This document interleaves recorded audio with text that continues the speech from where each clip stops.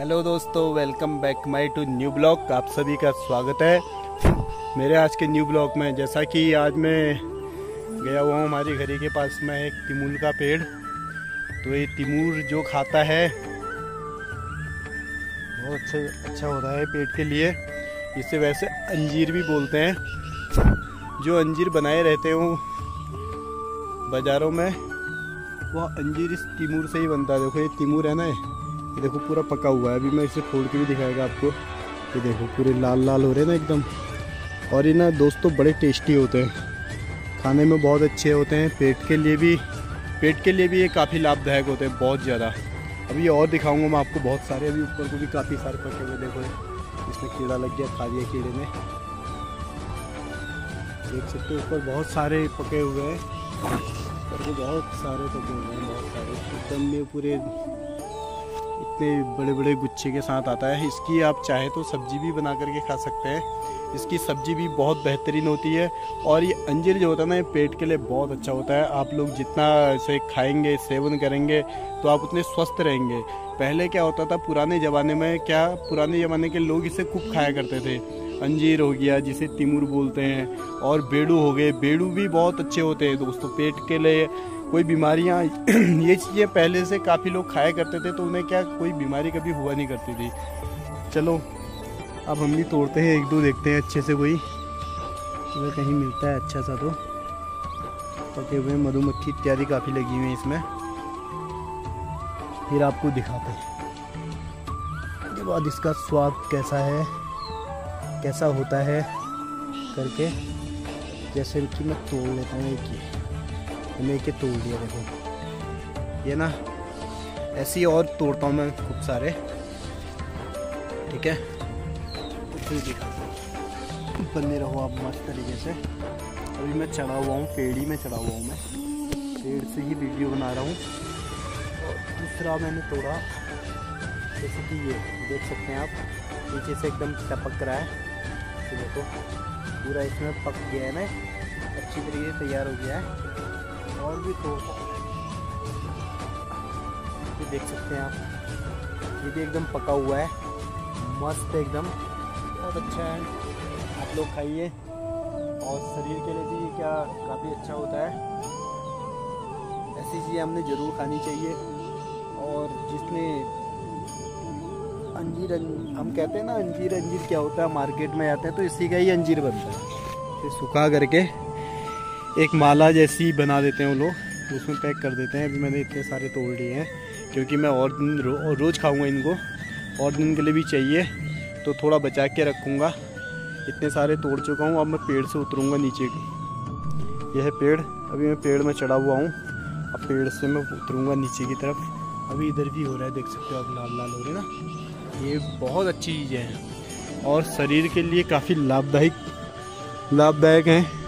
जो इसके विषय में जानता है, वो इसका खूब प्रयोग करता है। और हमेशा स्वस्थ रहता है, मस्त रहता है। आप लोग भी स्वस्थ रहिए, मस्त रहिए एकदम। ये छोटे छोटे हैं ना, ये हरे वाले। ये बहुत अच्छे होते हैं, इसकी सब्ज़ी बनती है। और इसकी सब्ज़ी भी खानी चाहिए, ऐसी बात नहीं है, बहुत अच्छा होता है, बहुत टेस्टी होती है इसकी सब्ज़ी।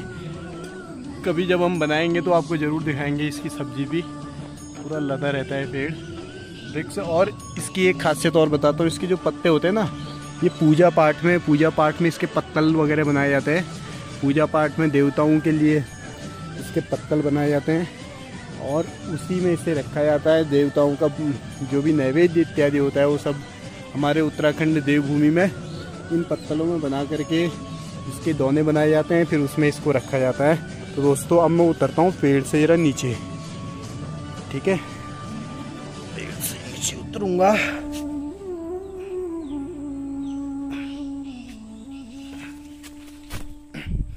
तो मैं फाइनली पेड़ से उतर गया हूँ नीचे ये है पेड़ देख सकते हो आप यहाँ चढ़ा था मैं ऊपर इधर से दिखाता हूँ आपको अच्छी से ये है पेड़ बहुत बड़ा देख सकते हैं आप देख लो इसके जो पत्ते होते हैं ना काफ़ी पूजा पाठ इत्यादि में भी काम आते हैं तो दोस्तों, उत्तराखंड में जैसी सावन का महीना लगता है तो ये क्या ना, चारों तरफ़ की जो हरियाली है, ये हरियाली इस पहाड़ को और खूबसूरत बना देती है। और हरियाली की जड़ है, जल जल जब बरसता है तो ये स्वतः ही जो पृथ्वी जो सूखी हुई है ना पृथ्वी, ये पृथ्वी ये पृथ्वी स्वतः फिर हरित होने लग जाती है, क्योंकि पृथ्वी की प्राण जो है, जल है।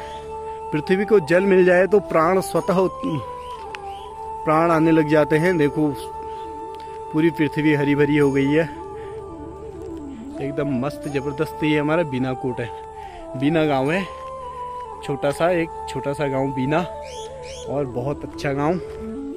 और यहाँ पे क्या, देखो ये लोगों ने की है हल्दी की खेती। हल्दी खेती होती है, गुड़ाई उड़ाई हो रखी है आजकल थोड़ा। आधी ही हो रखी है, आधी अभी ऐसी है। देखो, घास को रही है ना। घास ही घास है। तो मैं अब आपको दिखाता हूँ, ये तोड़ के देखो आप कितना ज़बरदस्त है नहीं है कितना स्वादिष्ट होगा, सोच सकते हो। मीठा होता है, बहुत टेस्टी होता है, बहुत अच्छा होता है। अब खा के इसका स्वाद बताऊँगा आपको कैसा है। तो दोस्तों, वैसे तो इसे कहते हैं तिमुल। हमारे पहाड़ में इसे तिमिल, तिमुल बोलते हैं, वैसे बोलते हैं अंजीर। देखो, ये बहुत टेस्टी होता है खाने में, बहुत अच्छा होता है। आप लोग खाएँगे ना तो सच में बहुत आनंद आएगा और पेट के लिए बहुत अच्छी दवा है। मैंने जैसे कि आपको बताया था, देख लो आप। खा के बताता हूँ आपको इसका टेस्ट देखो, बहुत टेस्टी होता है। बहुत अच्छा होता है। ऊपर भाभी भी बहुत देर से देख रही है, उन्हें भी खिलाता हूँ थोड़ा सा ठीक है ना? बहुत टेस्टी होता है। भाभी जी, लो, आप भी लो एक। पेट के लिए ना ये बहुत लाभदायी चीज़ है। बहुत ही लाभदायी लाभदायी चीज़ें हैं। ऊपर भी भाभी देख आप भी खाओगे क्या? हाँ तो ये ना पेट के लिए एक ये चीज़, एक और और दिखाऊँगा मैं भी आपको। एक बेड़ू होता है, बेड़ू। वो कहते हैं ना, बेड़ू पाको, बारू मासा नरण काफल पाको, चेता, मेरी छेला।